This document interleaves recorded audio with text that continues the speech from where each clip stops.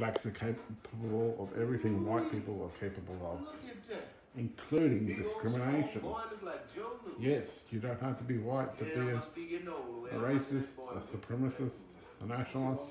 I mean, look at Damn if I know either. Louis don't know what Farrakhan. Look at recent comments by Nick Cannon, Some people build um. White Fragility book. people build fences to keep people in. If you're capable of it, on to you all. She loves you. you can, you know. Hell, nigga, I don't need nobody If you're black, you're capable of it. If you have two legs and arms Find a little soul. and you're capable of it, Look forward to you find it. okay? You're capable of um, What is that supposed to mean? when you violence, right? We've seen that. You're capable of sexual violence. You're capable of crime. It's like a white person is.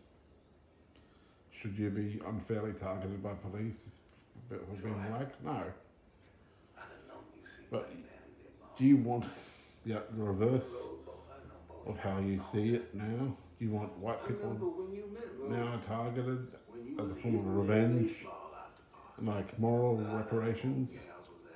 Is that what you want? Monetary reparations or moral reparations? You know? And who's going to pay these reparations? These knew you money, had any sense. monetary reparations. Who's going to pay them? said, my man You're going to put a big know what he tax on people. I'm gonna follow A white nigga. He gonna tax? take me somewhere. Sounds kind of like sounds like fucking racism. learned Man. a whole heap of things You have to- Have a blanket tax, I done learned how to tell when shit Or- pay reparations in other ways. I don't know. done learned me a lot of things. Which has already been happening anyway. I not make the same Like. Loan forgiveness and other things like that. I don't know, man. BLM sounds like a fucking troubled 18 years, but you got company to me.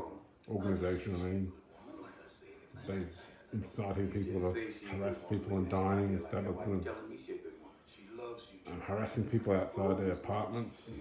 Even what violence. Oh yeah. Well, If you haven't seen this, then you haven't been watching every say I don't fucking wanna see you news resource, you know, source. Don't deny that shit. Don't be so fucking ignorant about. You was messing Don't be so around with Lucille, fucking I'm telling you, son. vacuous. Don't be so fucking all I gotta sad on watching I just say that 'cause I love CNN. Oh my fucking god, CNN, MSNBC, You know me, I wouldn't ABC, BBS, Bim, bim, bim, bim, bim.